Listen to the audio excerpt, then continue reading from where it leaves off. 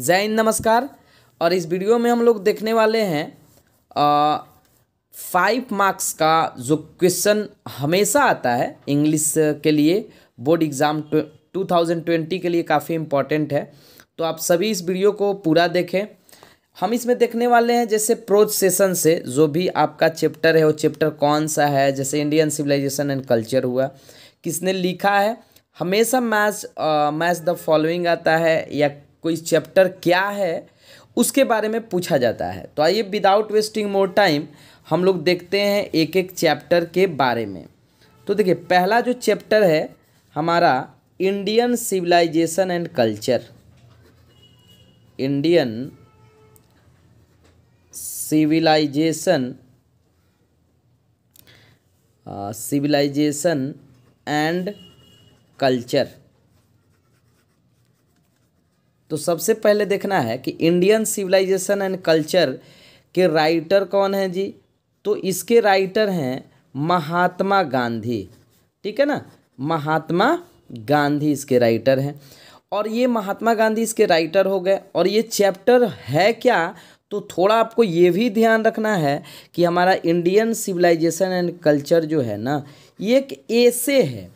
तो ये आपसे दो तरीके से पूछ सकता है क्वेश्चन एक तो who is the writer of Indian civilisation and culture तो Mahatma Gandhi. And what is Indian civilisation and culture तो यू मस्ट रिमेंबर दैट कि ये एक ऐसे है। ठीक है ना? ये क्या है? ऐसे है। ठीक? चलते हम अब लोग सेकेंड हम लोग सेकेंड चैप्टर पर। सेकेंड चैप्टर हमारा है Bharat is my home Bharat is my home ठीक है ना? भारत इज़ माई होम जो है आपको ध्यान होना चाहिए कि इसके राइटर कौन है? तो डॉक्टर जाकिर हुसैन है। कौन है जी? डॉक्टर जाकिर हुसैन है। ठीक है? और ये है क्या? तो ये एक स्पीच है। ठीक है ना? ये है क्या बाबू? तो ये एक स्पीच है। आपको ये भी ध्यान में रखना है। ठीक है? हमारा पहला chapter Indian civilisation and culture ऐसे था, दूसरा स्पीच है। ठीक है? अब आते हैं चैप्टर नंबर थर्ड पर टोटल इलेवन चैप्टर है, आपको हम बता दें प्रोज सेशन से। तो थर्ड हमारा है a pinch of a snuff a pinch of snuff और इसके सबसे सबसे पहला बात कि इसके राइटर के बारे में हम लोग बात करेंगे। तो इसके राइटर है हमारा मनोहर मालगौनकर। मनोहर मालगौनकर। ठीक है ना? मनोहर मालगौनकर इसके राइटर हैं। और ये है क्या जी? ये पिंच ऑफ़ स्नप तो आपको ध्यान रखना है। ये एक शॉर्ट स्टोरी है। क्या जी? एक शॉर्ट स्टोरी है। ठीक है ना? तीन चैप्टर के बारे में हम लोग समझ लिए। अब आते हैं हम लोग fourth chapter I have a dream I have a dream ठीक है ना? हालाँकि आपके बुक्स में भी ये दिया हुआ है कि इसके राइटर बट ये नहीं दिया हुआ कौन शॉर्ट स्टोरी है, कौन स्पीच है, कौन ऐसे है। आपके लिए काफ़ी हेल्पफुल होगा ये याद करने के लिए और हमेशा पूछा जाता है। एक बात का ध्यान रखें तो आई हैव ड्रीम का सबसे पहला कि राइटर कौन है जी? तो मार्टिन लूथर, हम ऐसे ही थोड़ा शॉर्टकट में लिख दे रहे हैं, मार्टिन लूथर किंग जूनियर, ठीक है ना? Martin Luther sorry Martin Luther King junior है। और ये है क्या? तो ये भी एक स्पीच है। ठीक है ना? ये भी क्या है जी? एक स्पीच है। आपको ये सारे बात समझ में आना चाहिए। ध्यान रखना होगा। Next ideas that have helped mankind mankind सबसे पहला बात कि इसके राइटर कौन है जी? Ideas that have helped mankind तो वर्ट्रेंड रसेल हैं।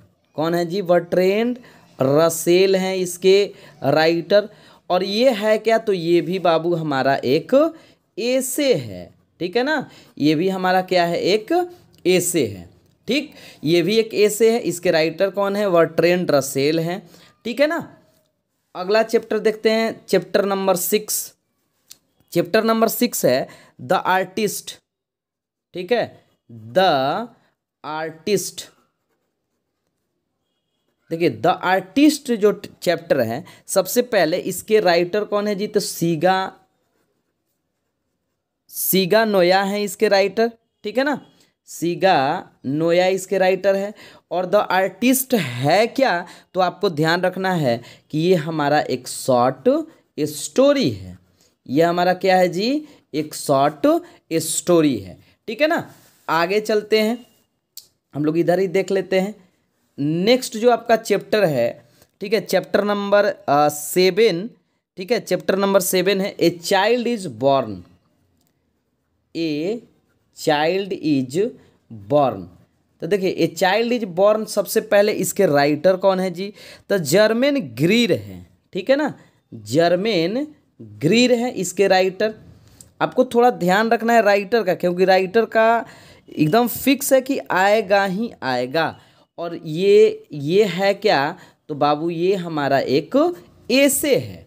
ठीक है ना? ये है क्या जी? तो ये हमारा एक ऐसे है। ठीक है ना? आगे देखते हैं हम लोग। चलिए नेक्स्ट चैप्टर है हमारा। चैप्टर नंबर एट ठीक है ना? चैप्टर नंबर जो एट है, आपका how free is the press how free is the press ठीक है ना? How free is the press है क्या जी? तो आपको ध्यान रखना होगा कि how free is the press भी एक हमारा ऐसे है। ठीक है ना? ये भी क्या है बाबू? एक ऐसे है हाँ सबसे पहले देखिए, इसके राइटर का नाम क्या है जी? How free how free is the press का?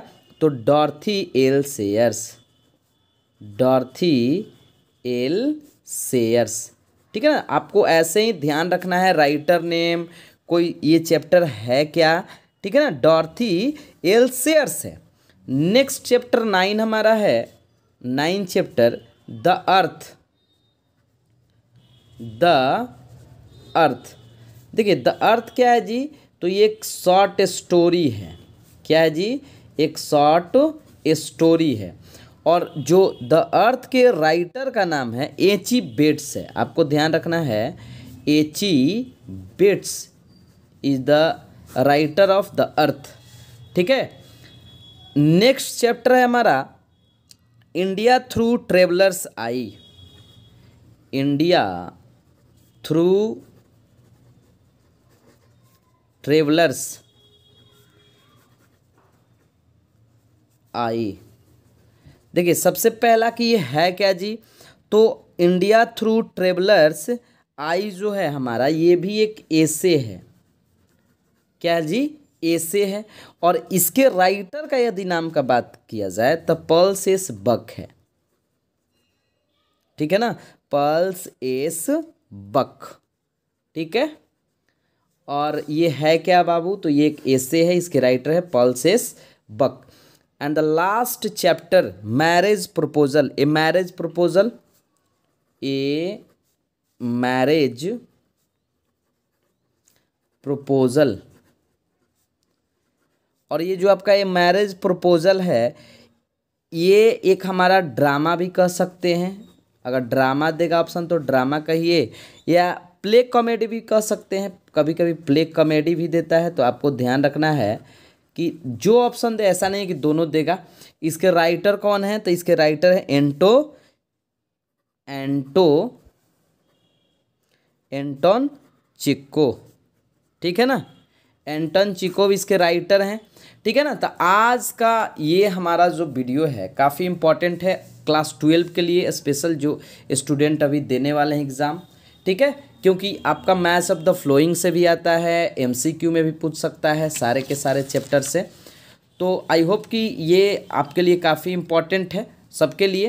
तो आप कमेंट करके ज़रूर बताइएगा कि ये वीडियो आपको कैसा लगा। ऐसे इंपॉर्टेंट वीडियो नेक्स्ट सेशन में हम लोग देखेंगे। चलिए थैंक यू